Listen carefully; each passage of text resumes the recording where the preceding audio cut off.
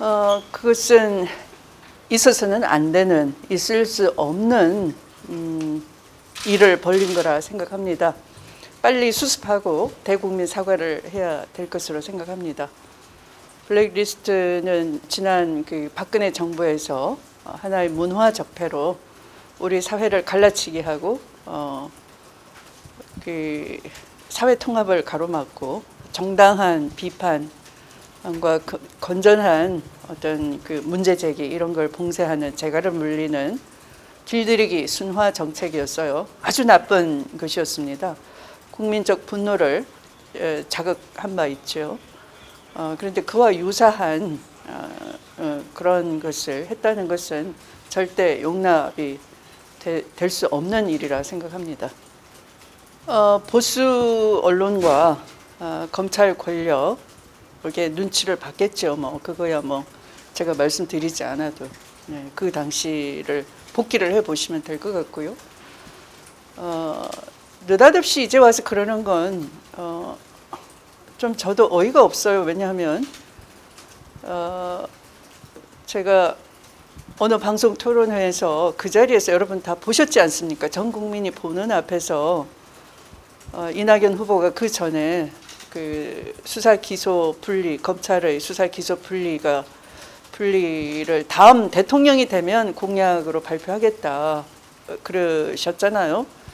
그래서 어, 제가 그러면 그 다음 토론회에서 대통령이 돼서 한다고 할 게 아니라 당 대표 시절에 못한 것, 음, 어, 그것을 어, 지금 합시다.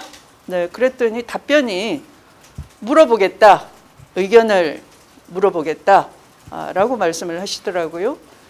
어, 그러다가 갑자기 에, 그 수사 기소 분리가 분권의 원리에서 당신이 주도해서 하겠다라고 하니까 그러면 추미애 후보가 얘기할 때는 의견을 물어보겠다 유보를 하고 안 할 것처럼 하시다가 대통령이 되면 하겠다 어, 라는 거가 지금 할 수 있는데 대통령이 되면 굳이 공약을 할 이유가 없는 거잖아요. 실천 실천을 촉구했는데 실천 촉구에 대한 응답이 어, 내가 하면 하는 것이고 추미애 후보가 하면 못 하는 것이다 라는 식이면 상당히 이게 공약 가로채기 실천에 대한 응답도 아니고 약간 얌체라고 국민들이 생각하시지 않을까요?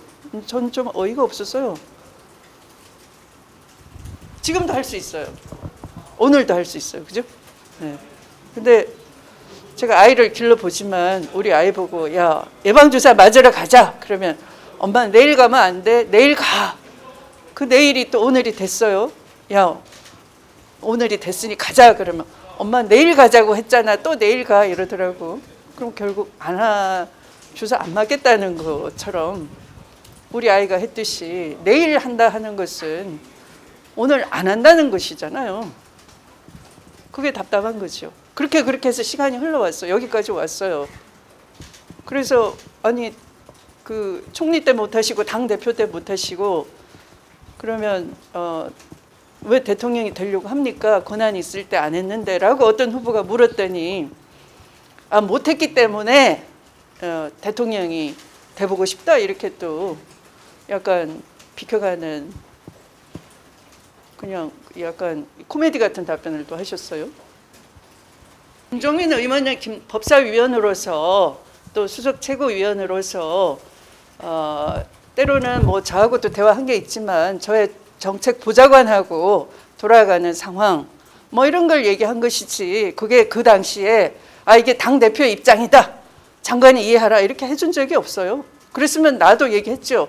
당이 확실하게 뒷받침하고 있으니 어, 빨리 그러면 수사 기소 분리 법안을 내라라고 하든가 했겠죠. 그러면 정책 보좌관 통해서 제가 물어보면 당을 걱정하면서 아 자기 또 한계 부딪힌다 이런 식으로 얘기를 했는데 지금 와서 그게 당 대표 뜻이라고 왜 그렇게 방패가 돼 주는지 이해가 안 되네요. 앞뒤가 안 맞는 얘기잖아요. 아니 나는 공격을 하는 게 아니에요. 당에 대해서 촉구를 하는 것이지.